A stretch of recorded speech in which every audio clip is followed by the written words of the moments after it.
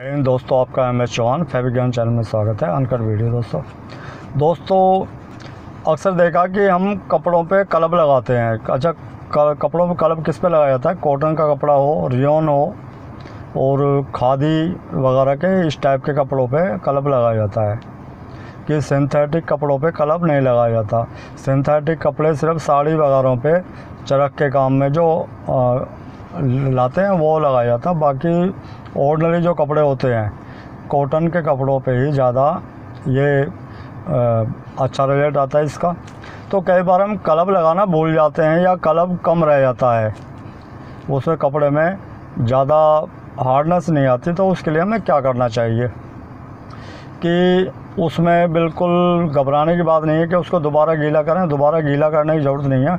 उसके लिए क्या करें, जिस टाइम हम कपड़े को प्रेस कर रहे हैं तो उस टाइम में आप क्या करें कि स्प्रे यानी फुहारा होता है जिससे हम कपड़ों के ऊपर स्प्रे लगाते हैं, यानी पानी मारते हैं तो उसके अंदर आप स्टार्च भर लो स्टार्च का पानी बना के, कि जैसे आपको बताता हूँ, जैसे रिवाइव है रिवाइव लिक्विड में भी होता है और ये उसमें क्रिस्टल टाइप पाउडर में भी आता है।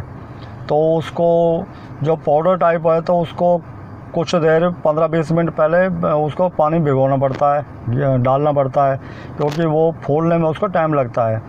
और बाकी जो लिक्विड होता है, लिक्विड को आप वैसे यूज़ कर सकते हो। वो सबसे अच्छा और आसान तरीका, सस्ता तरीका है फेविकोल।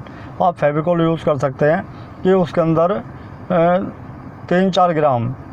एक फारे के अंदर, जो छोटा फारा होता है शायद उसके अंदर आधा लीटर पानी आता है, उसके अंदर पाँच ग्राम भी आप फेविकोल डालेंगे, फेविकोल को डाल के अच्छी तरह मिला लें उसको, पानी दूध जैसा हो जाएगा। उसके बाद उसको स्प्रे कर दें, या अरा रोट का पानी उसका बना के, बनाने के बाद में तब उसमें डालना है फारे के अंदर कि उसका जो पाइप है, उसमें ब्लॉक ना हो जाए। क्योंकि अगर वो अच्छी तरह घुलेगा नहीं तो वो ब्लॉक हो सकता है, वो नीचे पाइप होता है, जिससे पानी ऊपर उठता है, उसमें वो जम सकता है उसको ब्लॉक कर सकता है। तो आप उस पर जिस भी कपड़े के पार्ट्स पे कर रहे हो, उसको सीधा बिछाइए, उसके ऊपर फारा मारिए, उसके बाद प्रेस कर दीजिए।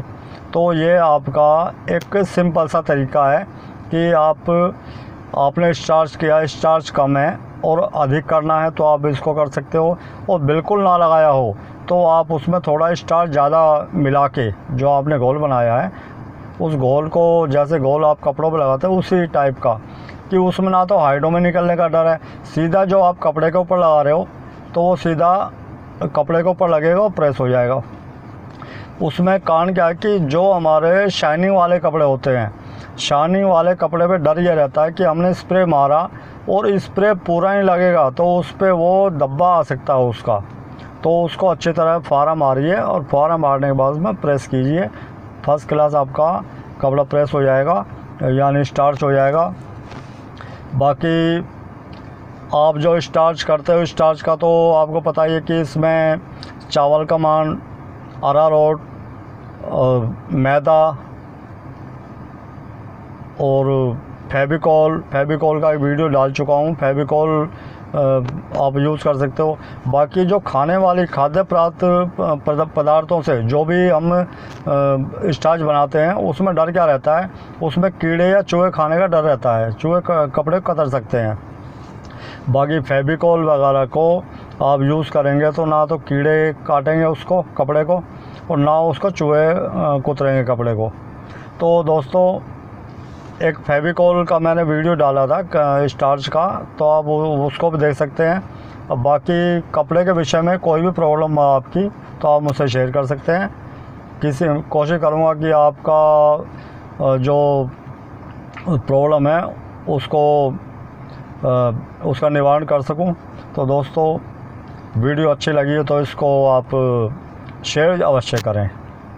बाकी कपड़े के विषय में कुछ भी हो, कैसी भी प्रॉब्लम धुलाई, प्रेस डाई क्लीन वगैरह किसी टाइप की हो, आप मुझसे संपर्क कर सकते हैं या शेयर कर सकते हैं मुझे। नमस्कार दोस्तों, मिलते हैं नए विषय